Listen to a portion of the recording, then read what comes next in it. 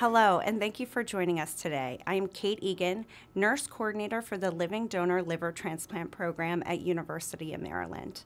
I, along with my colleagues, will be discussing living donor liver transplant today. First, you will hear from Dr. Sasan Sakiani, a transplant hepatologist, about the organ shortage crisis in the United States and why living donor liver transplant is so important. Thank you, Kate. Liver transplantation is a life-saving measure for many people with liver disease.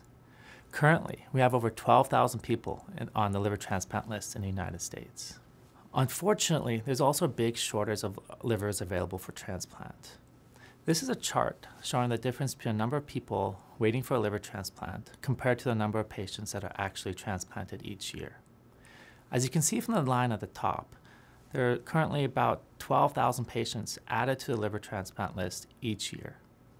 While we would love to be able to transplant each one of these patients, we're limited by the number of available organs.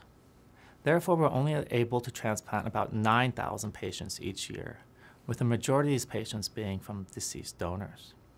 This leaves us with over 4,000 people who are unable to receive life-saving liver transplants each year, with the, with the majority of them subsequently falling off the list. In other words, for each 100 people getting a liver transplant, 32 will not be able to receive a liver transplant on the list. This is where living donation can make a huge difference. By performing living donor transplants, we can overcome the shortage of available donors. Another bonus of living donor transplants is that they're often better quality organs and tend to have better outcomes as a whole compared to deceased donors. In 2019, over 7,300 people were living organ donors. In addition to better quality organs, living donor transplantations allow us to plan the surgery. This way everybody involved, including the patients, their families, and the surgical team are able to prepare well in advance for the surgery. By scheduling these surgeries, we're also able to shorten the time that patients have to wait on the transplant list. And most of these patients are able to be transplanted at much lower MELD scores. Lower MELD scores also tend to mean that patients are less sick at the time of transplant. And the healthier a patient is at the time of surgery, the shorter their hospital stays typically are. Now, you might be asking what I meant by MELD score.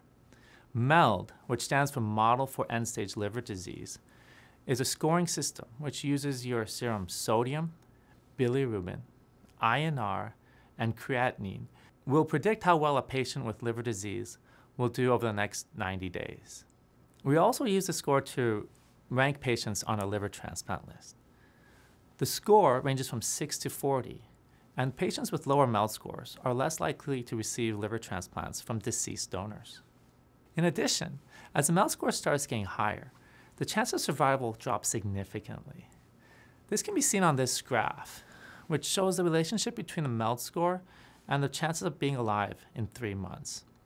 A MELD score of 6 has almost 100% chance of survival, while a MELD score of 40 has less than 10% survival at three months.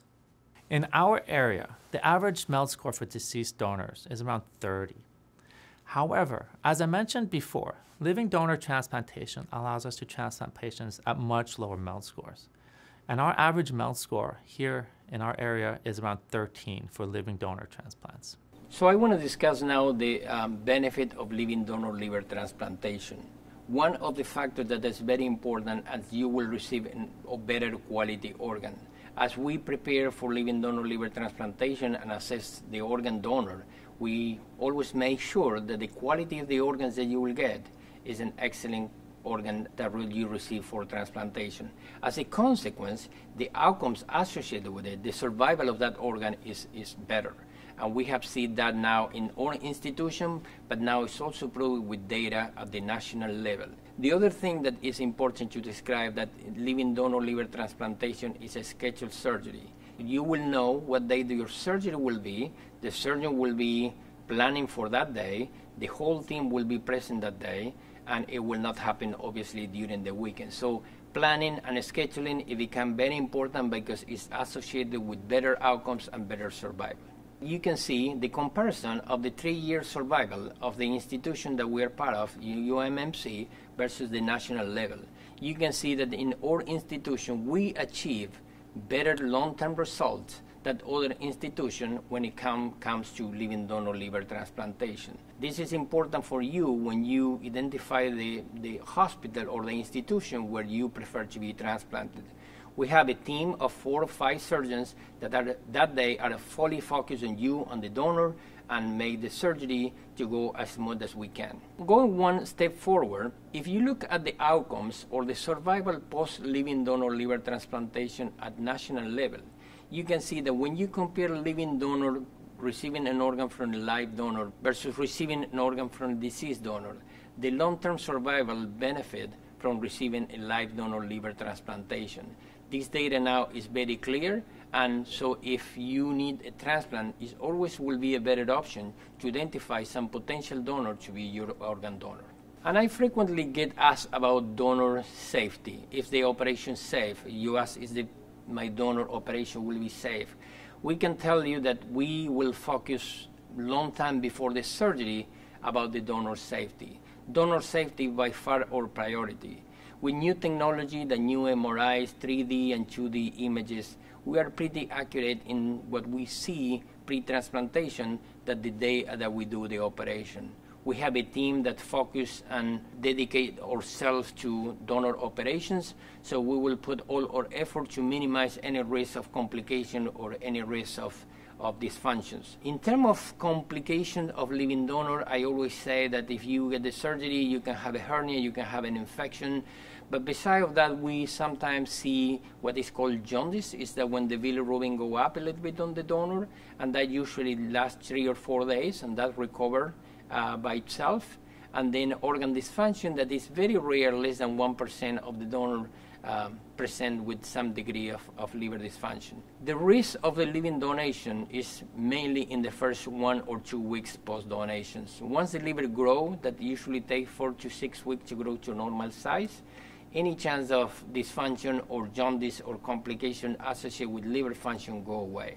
So this is important to know because the main risks occur in the first week and then most of the risks go away. Potential living donors should be healthy and be between the ages of 18 to 55. Body mass index, or BMI, is a way to calculate body fat based on height and weight of an individual. For living donors, we would ideally like their BMI to be less than 35. Living donors also need to be blood type compatible with their recipients.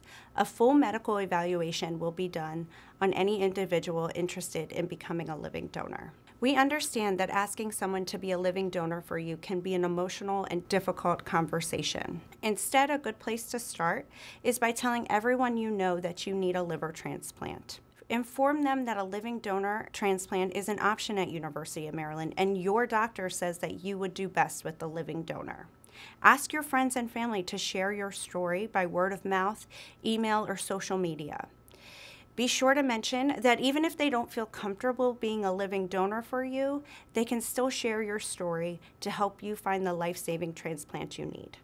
Be sure to mention that even if they don't feel comfortable being a donor for you, sharing your story is an excellent way to get your word out and help you find the life saving transplant you need. Using social media or email is a great way to get your story out. In a social media post or email, be sure to include a photo or video of yourself. Explain what your life is like now, what you miss doing, but can't now because of the demands of your illness or treatment. Include what you want to do when you get better or certain family events that you would like to participate in, like watching your kids grow up, the birth of a grandchild, or the wedding of a loved one. Say that you need an organ and your doctor said a living donor is your best chance at getting transplanted quickly. Include the website where donors can register or obtain a questionnaire. Remember to update your post or email monthly. Include any health updates or progressions of your disease. Remember that it may take time for your donor to realize that they can do this for you. For further information, please visit our website. For any questions regarding living donation, please contact me, Kate Egan, via phone or email.